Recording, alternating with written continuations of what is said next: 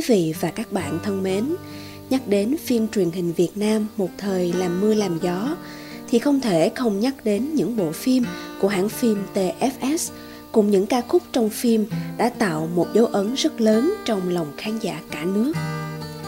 Với thế hệ 8X, 9X, không ai xa lạ với những cái tên như Đất Phương Nam, Người đàn bà yếu đuối hay Giả từ dĩ vãng, vân vân. Một trong những hiệu ứng thành công đi kèm những bộ phim này chính là nhạc phim.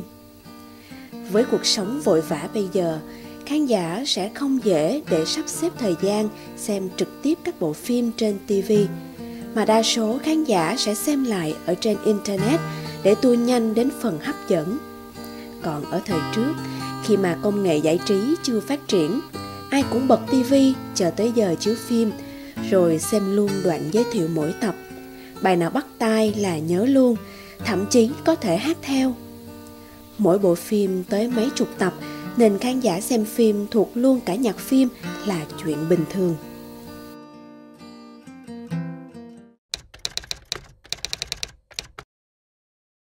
À, hãng phim TFF thì mình rất là ấn tượng ở cái giai đoạn trước thì mình nhớ là tuổi thơ của mình được gắn bó nhiều cái bộ phim thật ra là mình cũng không không không không biết không nhớ rõ lắm nhưng mà hồi xưa thì có xem hồi xưa xem phim truyền hình đấy còn phim gì thì của hãng gì thì không chú ý lắm.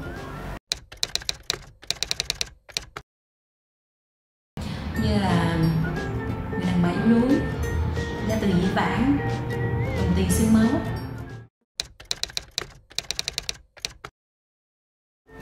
thật ra là không nhớ nhưng mà nếu mà có bật một cái bài nào đó lên thì à, có thể nhận ra cái bài đó một trong những nhạc sĩ tên tuổi viết rất nhiều ca khúc cho phim TFS là nhạc sĩ Nguyễn Đức Chung.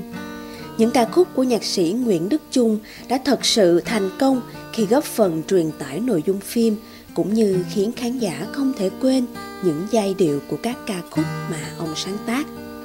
Trong chương trình dấu ấn thời gian số này, quý vị và các bạn sẽ cùng được nghe nhạc sĩ chia sẻ về những ca khúc nhạc phim rất thành công của ông. Với bộ phim Đồng tiền xương máu thì à, nghe cái tên các bạn cũng thấy rằng là nó có rất nhiều tình tiết trong đó rồi. Thì à, đầu tiên là tôi viết một cái ca khúc có tựa đề là có khi nào. Thì khi nghe ca khúc này thì đạo diễn ninh Đức Liêm lại nghĩ rằng ôi cái ca khúc này nó trữ tình quá có lẽ là nó không hợp với bộ phim này lắm. Mặc dù ca khúc này ca khúc này nó có những giai điệu rất hay. Thế là tôi phải viết một cái ca khúc khác có tựa đề là Thiên đường mong manh thì chính cái tựa đề của cái phim này cũng nói lên được những gì mong manh trong cuộc sống và người ta phải giành giật với nhau để mà chiếm đoạt lấy những cái gì thời nhuận ờ, lợi nhuận cũng như là cái danh vọng của mình trong xã hội và thậm chí bỏ luôn cả những tình yêu chân chính của mình để tìm đến những cái gì mong manh, gọi là, chính vì vậy mới có tên là thiên đường mong manh. Thì ca khúc này đã đem đến cái thành công nhất định cho bộ phim.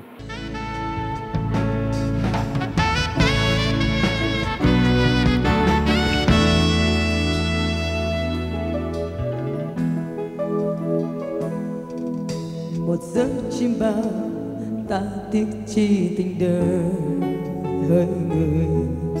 Còn bao nhiêu thứ trao hết cho người rồi hơi anh. Dòng đời cuốn xoay thế gian bao thăng trầm cung đành. Vỡ tan giấc mộng, vỡ tan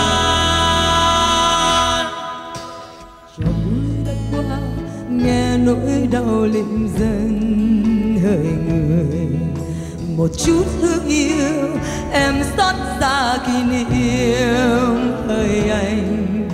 Từ trong gió mưa mơ bóng ai quay về ra lạnh. Giấc mơ thiên đường mong manh. Còn trong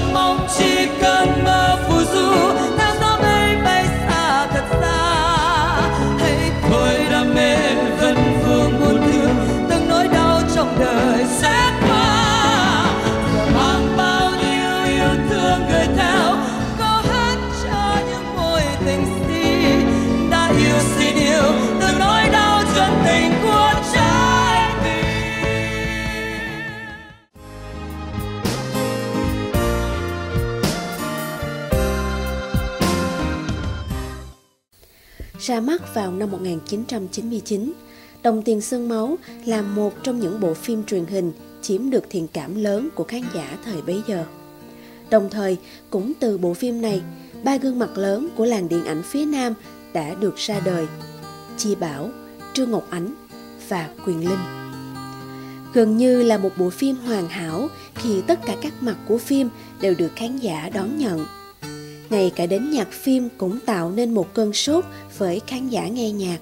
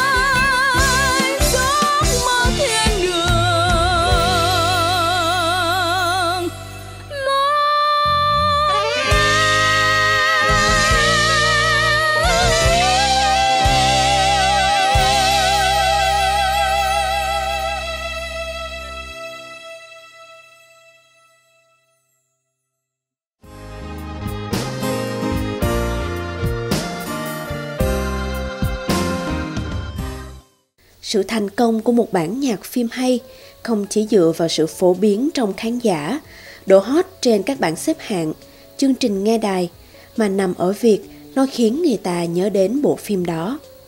Ngoài ca khúc thiên đường mong manh, ca sĩ cẩm vân còn thể hiện thành công ca khúc người đàn bà yếu đuối trong bộ phim cùng tên. Đã có không ít những đoạn phim, chính nhờ giai điệu và giọng hát hòa quyện đã đẩy được cảm xúc của câu chuyện mà nội dung được truyền tải rất xuất sắc. Khán giả có thể hạnh phúc cùng vai diễn, nhưng cũng có khi vì lời hát mà rơi nước mắt xót xa cho nhân vật. yêu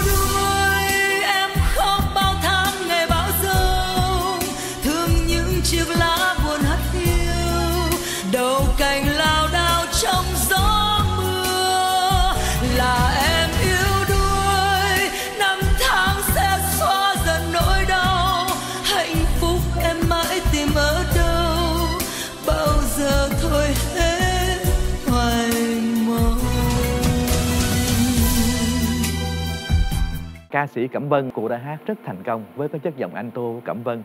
Thì đem đến cho bộ cho cái ca khúc này đó là có một cái nội tâm sâu sắc nhất định và thể hiện được những cái gì cũng người đàn bà yếu đuối nhưng thực sự không phải là yếu đuối mà là tuy là yếu đuối trong tình cảm nhưng mà luôn luôn rất là dũng cảm và vượt qua mọi khó khăn cũng là một mẫu người phụ nữ đã thành công trong cái lập sự nghiệp của mình.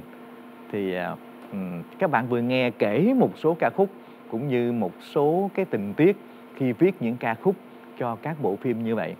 Thì các bạn thấy rằng là à, thực sự ra là với những người mà à, không quen như tôi chẳng hạn thì chắc chắn một điều là có vẻ hơi khó đó đúng không? Nhưng mà tại vì chính mình có những cái thuận lợi. Thứ nhất là thực ra tôi rất là yêu thích phim điện ảnh. Cái thứ hai là lại âm nhạc của mình khi mà được có dịp được mà giao duyên gắn bó với phim. Tôi nghĩ đây là một cái dịp để mà mình có thể thể hiện tất cả tình yêu của mình đối với điện ảnh và âm nhạc thì chính vì thế cho nên làm bằng tất cả những cái tâm hồn của mình và cái sở thích đam mê của mình thì tôi nghĩ đó là một động lực rất lớn để có thể viết nên những ca khúc và viết nên những nhạc tình huống trong các bộ phim và anh chị các bạn đã có dịp theo dõi bộ phim TFS mà vừa qua, mà một thời đã làm cho các bạn cũng có một cái cảm xúc nhất định và dành tình cảm yêu thích cho phim Việt Nam của mình.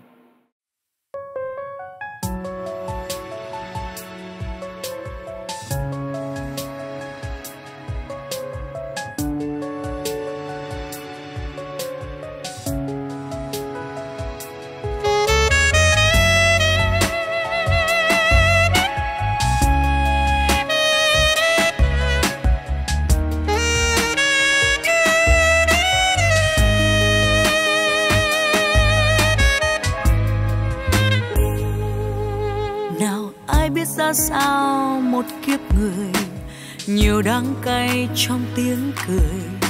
Để xót xa trong cõi lòng, chưa mong thế thôi. Còn nhớ chút thế thái nhân tình đó, hết cơn mưa mong trời sáng. Ấm nụ cười bên trẻ thơ, yêu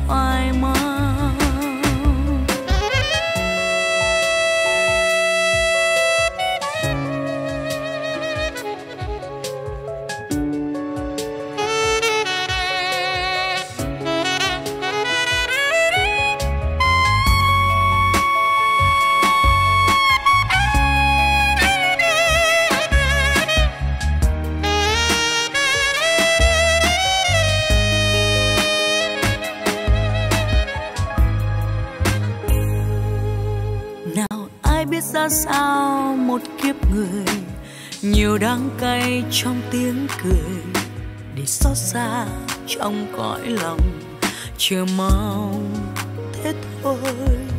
Còn nhớ chút thế thái nhân tình đó, hết cơn mưa mong trời sáng. Ấm nụ cười bên trẻ thơ, yêu thương.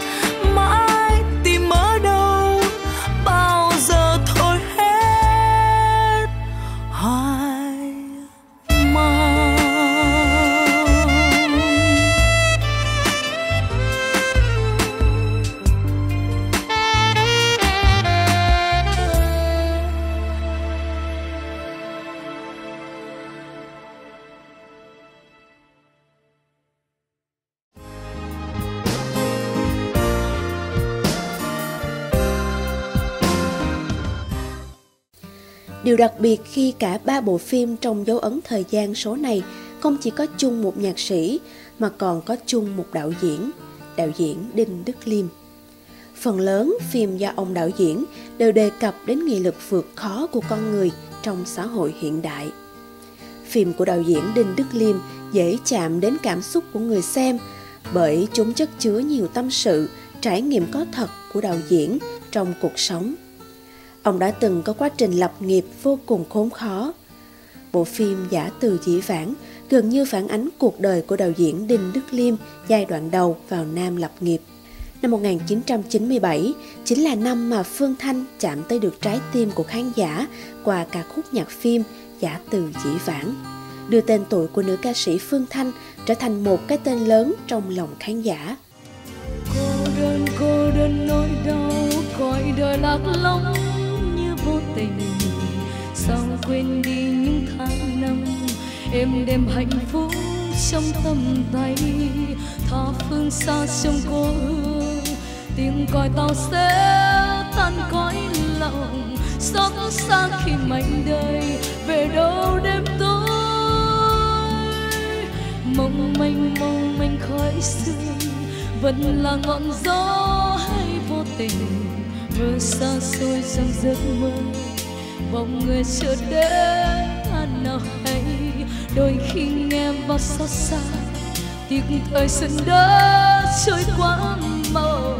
Hãy quên đi ngày xưa, chợt vững tin giữa cơn mưa gió từ dĩ vãng quên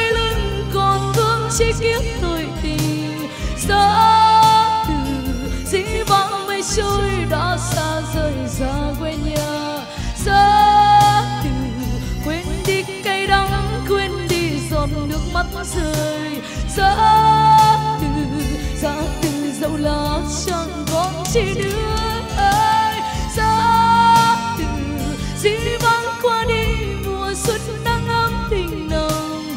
Gió từ, dĩ vãng xa xôi, lỡ gieo sâu vương mãi. Gió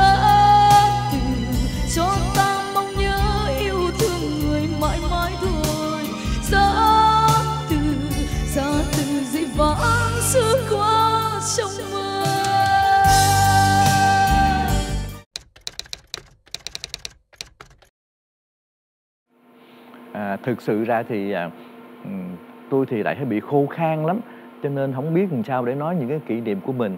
Có điều là à, cái kỷ niệm chăng á, là những cái à, nỗ lực của mình và cả những lần tiếp xúc với đạo diễn làm việc với đạo diễn với biên tập. Thì các anh đã tạo cho tôi một cái niềm tin cũng như hướng dẫn cho mình làm sao để viết thành công nhất cho các bộ phim. Và có khi những cả những cái à, trao đổi những cái tranh luận và chính những cái điều đó tôi nghĩ là cái kinh nghiệm và những cái kỷ niệm đó chỉ là một cái để học hỏi lẫn nhau. Và cái điều cuối cùng mục đích cuối cùng là giúp cho bộ phim có một à, cái phần cộng tác nhạc ca khúc cũng như nhạc tình huống đó để giúp cho bộ phim có một cái thành công tốt hơn. Và tôi nghĩ là qua đó thì cũng là một dịp để mình rèn luyện đào tạo à, cũng như là học hỏi thêm về kinh nghiệm về phim. À, à, cái gì mà thuộc về mà hiểu biết á, về phim tôi nghĩ là còn giới hạn lắm. Mà về sau này á, có rất nhiều nhạc sĩ cũng như nhiều bạn trẻ đã viết nhiều ca khúc rất hay cho các bộ phim. Tôi nghĩ rằng là à, các em sau này sẽ thành công còn nhiều hơn nữa. Nếu các em chịu khó à, nghe tìm hiểu và gắn mình với cái tình yêu của mình đối với âm nhạc và điện ảnh thì chúc các anh chị và các bạn sẽ có những cái sáng tác những ca khúc viết các bộ phim hay hơn nữa giúp cho nền điện ảnh Việt Nam của mình á, càng ngày càng phát triển tốt hơn. Rồi có những bộ phim Việt Nam hay hơn để không phụ lòng công chúng đã yêu âm nhạc cũng như là các bộ phim Việt Nam của mình nhé.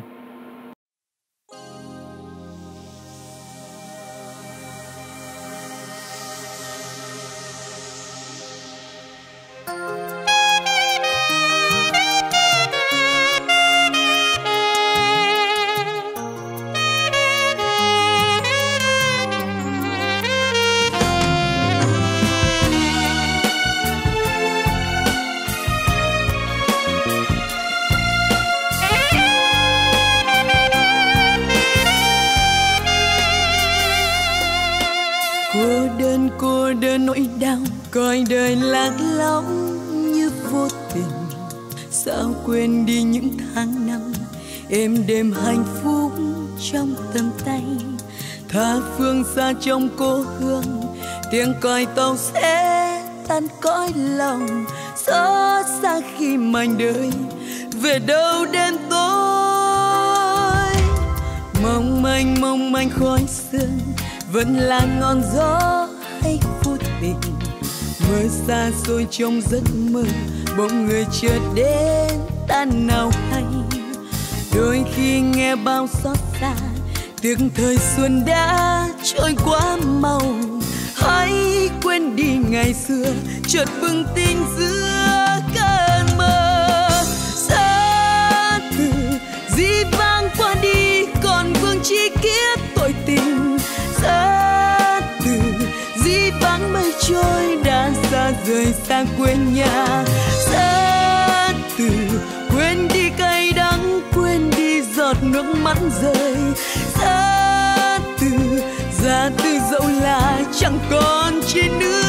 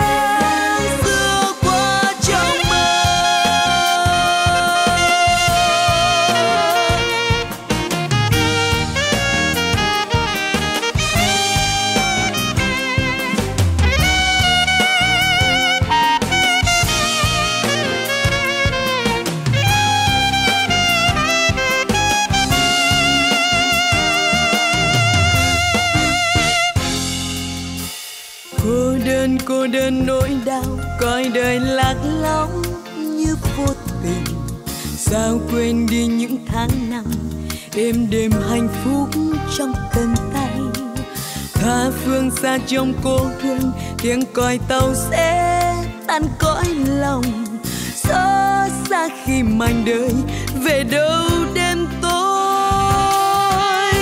Mong manh mong manh khói sương, vẫn là ngọn gió hay vô tình. Mơ xa xôi trong giấc mơ, bỗng người chưa đến tan nào hay đôi khi nghe bao xót xa tiếc thời xuân đã trôi qua màu. Hãy quên đi ngày xưa, chợt bừng tỉnh giữa cơn mơ.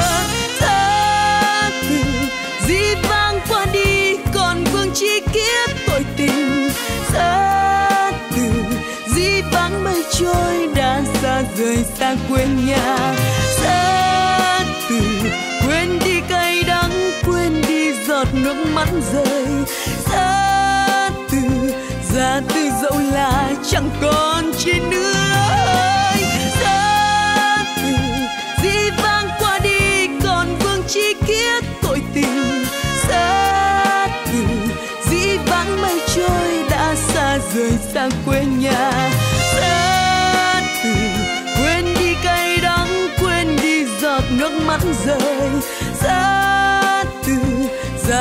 ra